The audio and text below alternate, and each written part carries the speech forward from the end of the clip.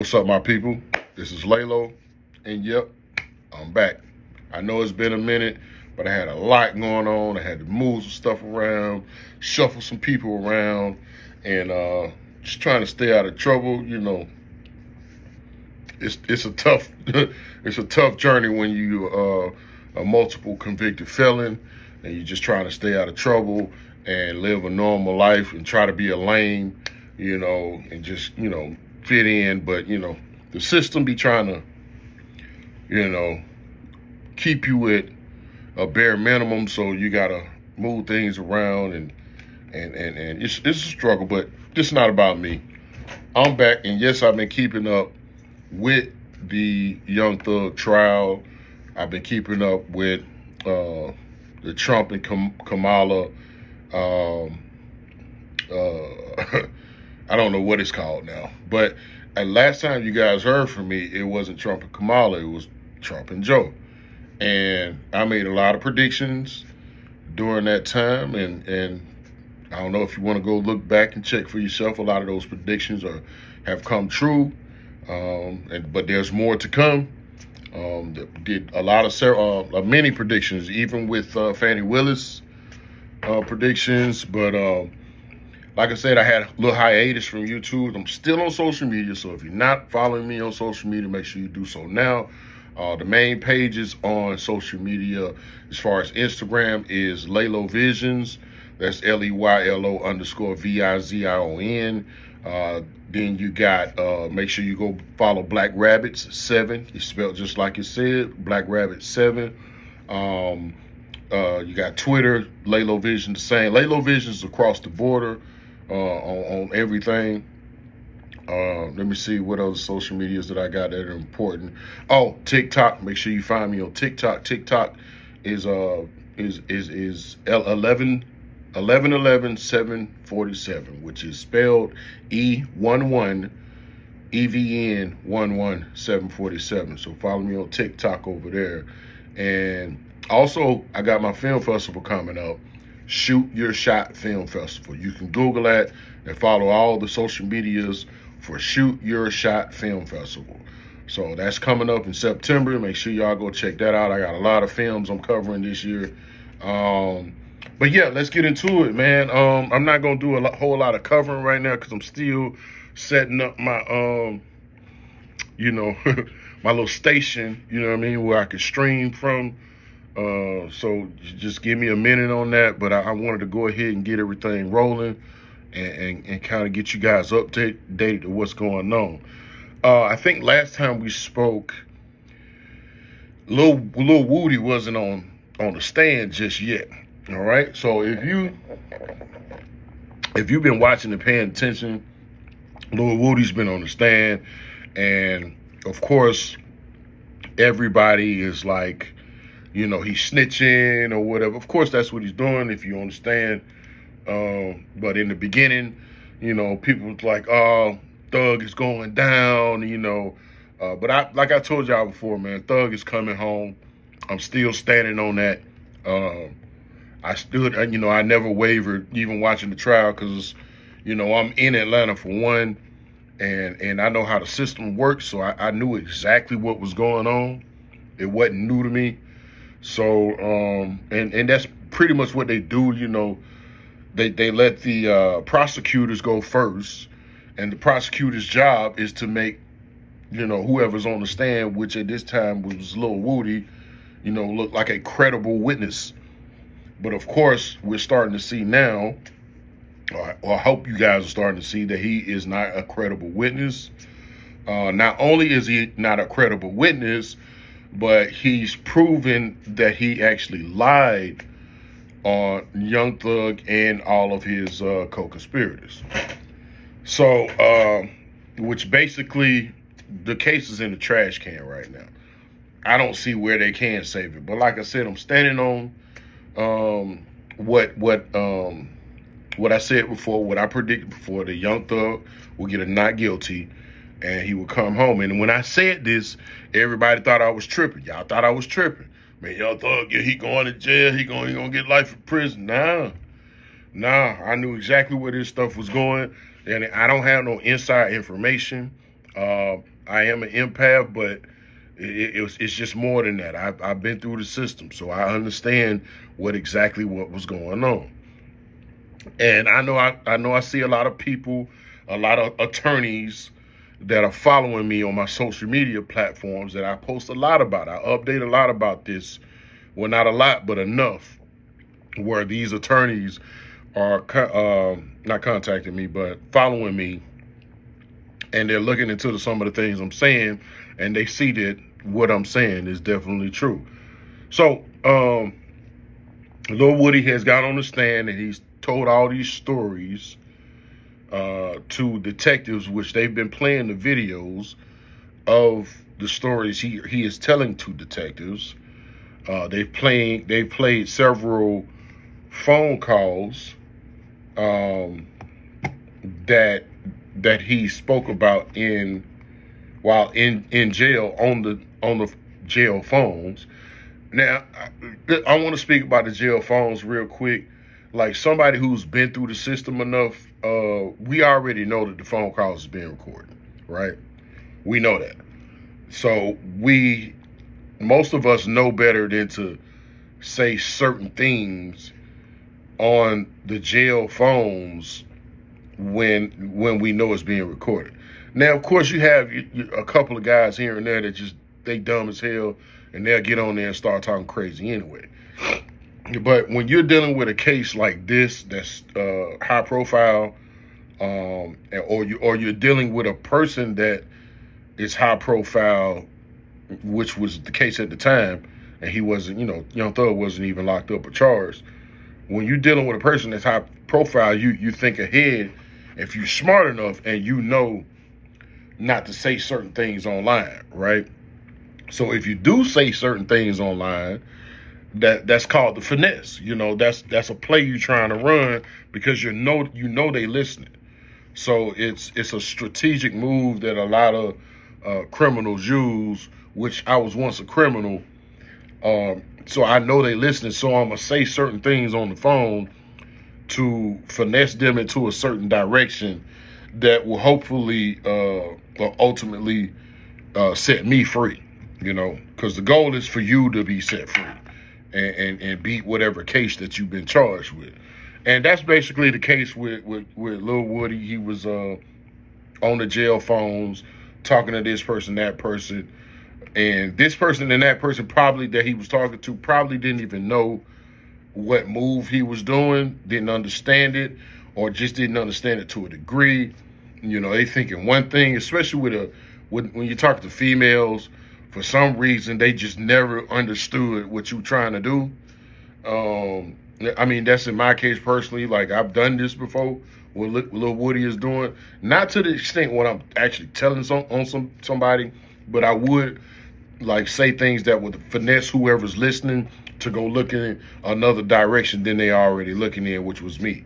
Um, so, you know, when you're dealing with women over the phone for some particular reason, they don't understand what you're because you have to speak in code and you hoping that you spend enough time with them and and gave them enough information about the game that they they get it what you're trying to do once you get on the phone with them. But for some reason they never do. They get to talking reckless and you going back and forth with them, you know, trying to get them to understand, look, this is, we need to be talking like this, not like what you're trying to talk about. Um, so yeah, uh, I think that's what kind of happened with those phone calls that I was hearing, that he was trying to uh, put some finesse in the game, but it was it was a lot of fumbling going on because who he was talking to really didn't understand what he was what it, what the mission was. They didn't get the memo. You know what I'm saying? So, uh, it, you know, eventually he got off the phone with that because it it, he felt like it wasn't working. But fortunately, it, works in in Young Thug in Young Thug's favor in this trial. Uh, so Young Thug is, uh, you know, I could see him smiling in his mind. Uh, I could see Brian Steele. Brian Steele is doing a hell of a great job. And if you're watching this now, that means you just uh, seen the cross start started to cross examine of Young Thug. I mean, not Young Thug, cross examine of uh, Lil Woody, uh, featuring Brian Steele and Sharp and uh, the other attorneys. I can't remember the names right now, but I will get to that in the coming videos. Uh, but yeah, right now, you know the the phone calls, and then you had the the uh, interrogations where again uh, a, a, person like Woody, he would know that the cameras are recording in the room. He already knows this. So he basically has told them time and time again that whatever he said to the police, he lied. Now, I I know how I grew up and you know in the era I grew up in, we don't talk to the police at all. Period. You know, when you go into a interrogation room, if they take you in there, uh, the first thing you should be asking for is an attorney. Once they once you ask for an attorney, it doesn't even matter what you say after that. They can't use it because you've already asked for an attorney. They're supposed to stop asking you questions, but a lot of time they continue to ask you questions. And it doesn't matter if you answer them or not at that point. Once you ask for an attorney, once that comes up in um, in, in the courthouse or in your trial or whatever the case may be, once it come up and the judge is aware of it, whatever is said after that cannot be used uh, unless you sign a waiver. Because sometimes uh, I've, I've, I've heard of situations where, and they've tried to make me sign waivers before. I never signed any waivers, but there have been situations where someone would ask for an attorney, but they keep talking. And then uh, the agent or whoever's interviewing the detective, they'll come back with a waiver and ask them to sign the waiver. That way it cancels out the attorney privilege. Uh, so, yeah, unless you sign that waiver, they cannot use whatever you said out there. But you don't need to be saying anything anyway. You know, once uh, you say, uh, once you walk into that interrogation room, the first question they ask you, you need to just respond with, I want an attorney. I want to speak to my attorney. And that should kill everything. They should, they should at that point make arrangements to take you over to the jail so you can call your attorney. something in my eye. But anyway, um, so yeah, yeah Lil Woody, uh, let me see, let me see here. Lil Woody, he was uh, definitely um, doing a lot of uh, talking in the interrogation room, but it has come uh, brought been brought to the attention of Brian Steele and all his other partners uh, that are attorneys for the uh, Young Thug's co-defendants. To convince them, you got to tell them a little bit what you think they know. And look, I'm not about to go back and forth you. Got one. Yeah, so there it is. Like, so he's been finessing detectives and whoever was questioning him the whole time. Yeah, and you know, I'm from Atlanta, so I understand the finesse game. And I understood it from the beginning. When I'm listening to him talk from the beginning, while everybody think he's he's uh telling on Young Thug, which he was technically, but he knew the information that he was giving these people was bogus. Had they went and did their homework, there would be no trial right now. And that's basically what we have come to. We have come to uh, basically a standoff between the prosecutors and the defense. The defense has the prosecutor didn't do a good job of proving the case, and once they finally tur- turned everything over to the defense and cross examination of Little Woody, it ain't been but a few days, and uh, Brian Steele and his team have already basically uh, shown the jury that um, this is all bullshit. this is all bullshit, you know. Um, and I made a video. Make sure go go out. I'm gonna put my social media down here somewhere, right? So make sure you go follow my social medias because I've been I'm about to start updating this trial a little bit more, making more videos about it because I wasn't gonna speak on it at all because it was an ongoing trial, ongoing case. But now um, this this trial is over. It, it's just procedures now. They're even talk. The judge is even Judge Whitaker, the new judge. Last time we had, you know, last time you guys heard from me, we had Judge Glanville. This is a whole new judge now. We done been to four judges. But anyway, the new judge, Judge Whitaker, she's uh, she had just had a meeting with the prosecutor and the defense and basically told them, y'all need to come up with some plea agreements. And that's because they know the trial is over. Judge Whitaker knows this trial is over. You're wasting taxpayers' money. This trial is not even about Young Thug no more. This trial is about Lil Woody. And and and it's only going to get bigger because it just got into uh, the cross examination or the defense's hand. It just got over there. So and they've been um, they've been questioning or, or, or having the little Woody on the stand for a couple of months on the prosecution side. So now the, now the defense just got him. So it could easily be another couple of months, easily. So, yeah, with that being said, man, make sure y'all follow all my social media. Hey, hit your boy with some donations because I need to I need to move fast to, to get y'all this stuff. So get this information to you. I got a lot of information to give you. And like I said, I wasn't gonna speak on this case at first.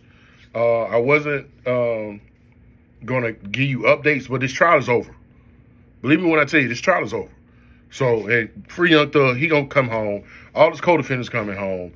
You know, if if if they do come up with a plea deal, it's gonna be stuff with time served. But personally, I wouldn't take no deal. No, you you you wasted my time with these bogus ass charges. Give me my not guilty. That's what you do, and and let let Young Thug go off in the sunset with his team and, and, and just take over the world. You know what I mean? And I, am sure Young Thug. Did y'all know that Young Thug didn't even know uh, Lil Woody uh, for about a year, and and didn't even really personally know him, know anything about him. He just knew him for about a year. So you know, it's crazy. I got a lot, you know, to cover on this. But free Young Thug, man. Go follow all my social medias. Uh, I will be updating soon uh, on this platform. Make sure you like, subscribe. Um, yeah, it's back up. It's the Leylo Show. It's up. Yeah.